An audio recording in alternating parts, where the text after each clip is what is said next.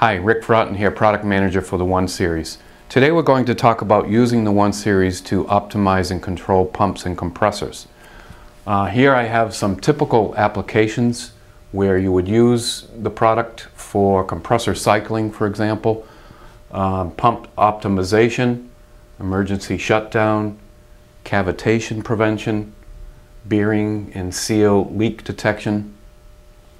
Over here, I show a little chart on how to set the one series up using the set point and the deadband to start and stop the piece of rotating equipment. So remember on the one series that your set point and your deadband are continuously variable. I can set them anywhere over the range of the sensor that I would like and the set point for example may be where I start a pump or a compressor and the deadband may be where I stop it and again both of those points can be programmed and moved around over the range of the sensor. The example that we're using today we have a sensor range of 15 psi. I have an example on the table here and we're going to set our set point at 5.25 psi and the dead band at a half of pound, half a pound or half a psi.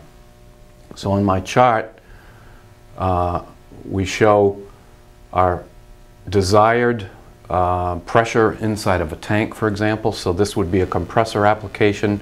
We're trying to maintain five pounds of pressure in a tank. It could be a plant air application, for example. So as I start up the pump from zero pressure, it climbs, it passes through five, and switches off at exactly 5.25 pounds. That's my set point setting. The pressure then decays depending on the rate of uh, use of the air in the plant. And it decays to the point where my deadband tells it to turn back on.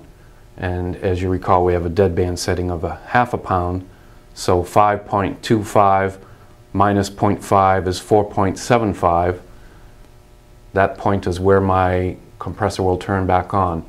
And we can maintain this on-off compressor actuation using the 1 Series.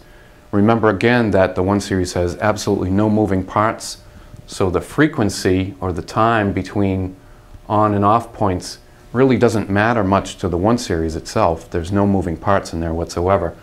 But it might matter to the compressor motor, in which case we can simply increase the deadband so that it turns on and off less frequently.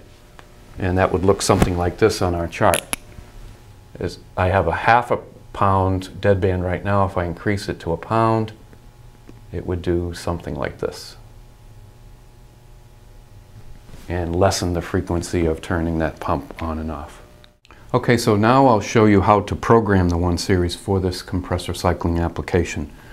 Of course, I need the installation and maintenance manual. If we turn to page 13, it shows us how to set the set point in the deadband settings.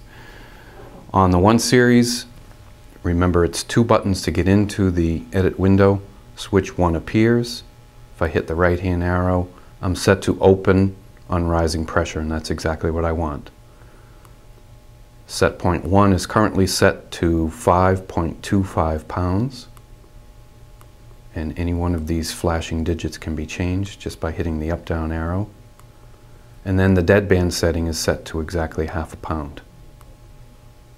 Once I've gone through those steps pressing both buttons allows me to save the changes by pressing these few buttons here. So for this exercise let's increase that deadband from a half a pound to one. Two buttons to get in Set point 1 right now is 5.25 psi. We're going to leave that alone. And dead deadband 1 right now is a half a pound. Let's change it to 1 pound.